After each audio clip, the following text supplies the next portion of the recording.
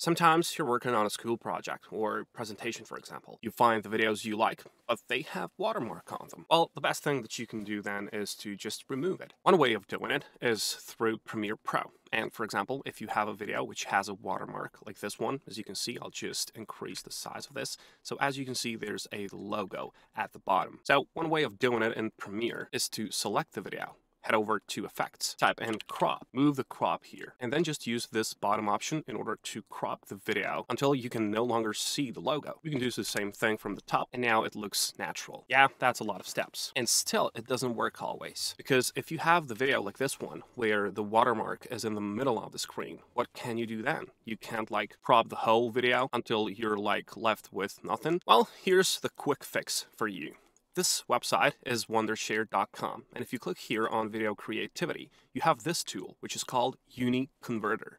If you click on it, you will be redirected to its page where you can see you can just try it for free. The link is going to be down there in the description of my video as well. But what I love about this one is that you can download it to your computer. So you don't have to deal with the browser. Once you install it, this is how it's going to look like. As you can see, they've got many tools here, including the AI video editor. Then there's like the usual converter. Also, you can find the compressor tool here. But what we're looking for is this, remove watermark. 2.0. When you first click on it, it will download this plugin, and all you gotta do now is to put the video with the watermark. I will choose this video. As you can see, it has a watermark here at the bottom right. All you gotta do now is to select the area. That is to select the watermark. Just click here on select area.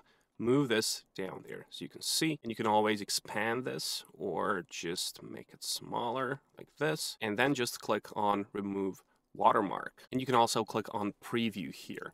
And yeah, this tool is a quick fix for it, and you can use it for free in that free trial that they have. And on top of it, you don't have to watch Premiere Pro tutorials. So, as you can see, the videos now here, as you can see, and at the bottom right corner, there's no watermark, all right? So, that's successfully removed. The location that will contain this video is going to be shown here, so you can just click on open folder. Now, if you want to add the watermark to your video, you can do so on here, more tools, and then down there you have watermark editor. Simply just put the video that you'd like. Let's say I just want to do this one. Simple drone shot of a coast. You have to switch this here on add watermark and you're just going to add it again. And then you can choose whether to add the image. That is the image type of the watermark, or you just want to go with the text type. Let me go with the text type right now. I will just type in Mr. Money here and I'll just put it here. You can change the opacity here and then just click on add watermark. And here you can see the final version of it. You have the Mr. Money watermark here. Link is in the description. This wonderful tool is here. This is the link to download it. On top of it, they've got like many, many features and they're good if you're a content creator especially. And the pricing is good. So yeah,